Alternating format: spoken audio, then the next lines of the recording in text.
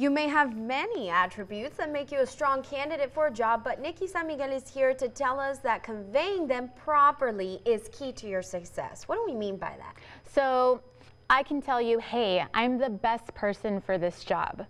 But it would be so much better, it'd be more believable if I could show you that I'm Oh, the yeah. best person for this job. And the, and the way that you do that is, I sh- you know, I can share anecdotes with you. I can tell you stories about what makes me so great.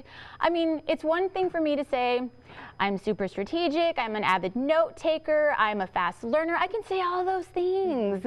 But if I can give you actual stories about, you know, hey, I got there really, really early to work and I made sure that everything was laid out, ready before the store even opened. And then my manager got there afterwards and then, you know, basically just giving you examples of, background. yes. And we've talked about this in the past. We've talked about how you know if you say i'm a strategic person how are you a strategic person? What is Right. it that you do that makes you strategic? You, it's not enough to just say i'm this i'm this i'm this and you definitely don't want to make those bold statements when they ask you why should i hire you? Well because you know I'm, Because why I'm- not? Yeah, I'm good Yeah. for this job. Yeah, you don't want to say things it's like that. It's too broad. Certainly. Exactly. It gives you more credibility if you have some substantial facts to back it up, especially if those are on your resume. Yes. And you can put all of these tips to the test. We do have a hiring event that is happening this week. Let's take a look at that.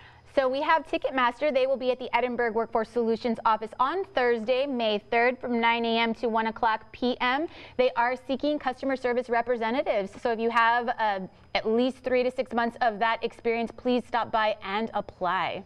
Certainly, and it's close by, so even if you're on this side of Hidalgo, or not Hidalgo County, I should say Cameron County, just go ahead and make the drive. What a great opportunity always. And Nikki, just a last message out there for those that say, hey, I'm always on time.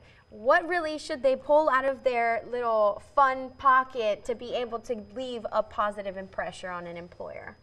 Um, well, you want to make sure that you have that resume. You want to make sure that you're dressed, you're interview ready, and be there early. Not necessarily on time, but early. That is actually that goes a long way. It's very impressive.